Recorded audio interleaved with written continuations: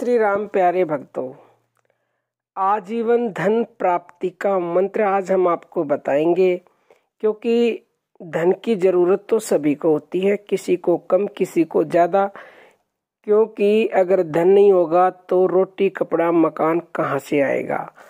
अब कई मनुष्य कहते हैं कि ऐसे धन प्राप्त नहीं होता, मंत्रों से कर्म करना पड़ता है। हाँ अवश्य ही कर्म करना पड़ता है, लेकिन उस कर्म में सफलता जब तक प्राप्त नहीं होगी, जब तक आप इस मंत्र का जप नहीं करेंगे।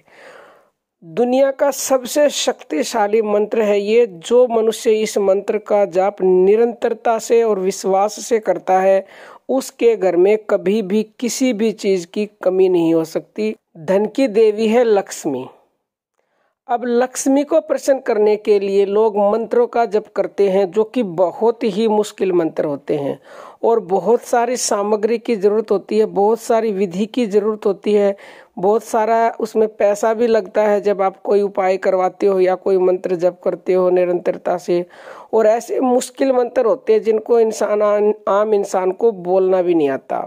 तो हम आपको एक बहुत ही सरल सुगम और बहुत ही शक्तिशाली मंत्र बताएँगे। अगर आप जप लेंगे तो ये पक्का है कि धन की चारों तरफ़ से आपके ऊपर बारिश होने लगेगी। अब देखो, मान लो आप गृहिणी हो। किसी के घर में आप जाते हो तो जिस घर में आपके पति की तारीफ़ की जाएगी, आपके पति को इज़्ज़त से बिठाया जाएगा, उनका सम्मान किया जाएगा तो उस घर में आप बार बार बार बार जाना पसंद करोगी। तो ऐसे ही जिस घर में लक्ष्मी के पति को बार बार बार बार सम्मान दिया जाता है, उसको याद किया जाता है तो वहाँ पर लक्ष्मी माँ का स्थायी वास हो जाता है।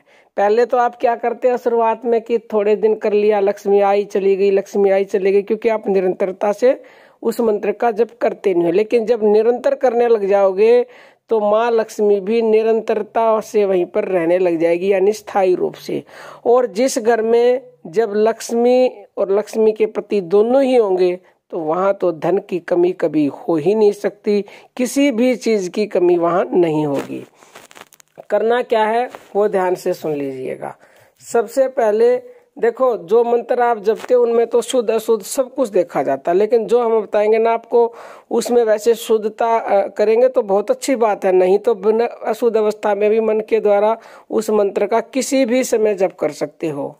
वो मंत्र है, प्यारे भक्तों, भगवान नाम का बहुत ही शक्तिशाली मंत्र है, क्योंकि भगवान नाम से ऊपर ही इस दुनिया में ना कुछ था ना है और ना ही होगा।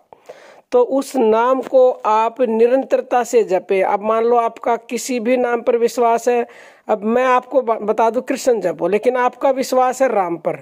तो जब तक विश्वास नहीं होगा, तब तक पूरा लाभ नहीं होगा। राम पर आपका विश्वास है तो राम नाम को जपो। कृष्ण पर है तो कृष्ण को जपो।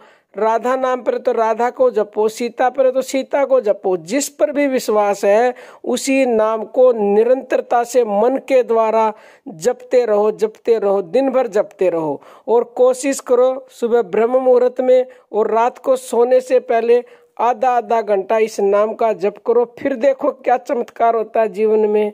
क्योंकि आप एक घंटा तो उसके लिए निकाल ही सकते हो ना जिसकी वजह से ये जीवन हमें मिला हुआ है।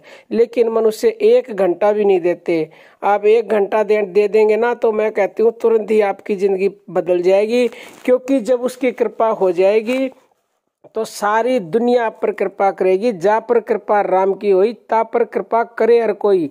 जहाँ मान लो आप नौकरी के लिए गए, आपकी नौकरी नहीं मिल रही आपको। लेकिन जब आप उसका नाम जपेंगे और जपने के बाद नौकरी के लिए जाएँगे तो नौकरी अवश्य ही मिलेंगे। आपकी तनख्वाह बढ़ जाएगी। जहाँ पर भी आप हाथ डालोगे, वहीं से आपको धन आने लगेगा।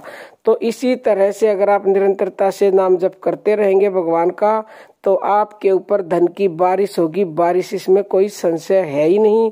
तो प्यारे भक्तों, बहुत ही सरल, सुगम और शक्तिशाली नाम है भगवान का। इसको पकड़ लीजिए और पकड़ के इसको कभी ना छोड़े, ना तो आपका जीवन अवश्य ही बदलेगा।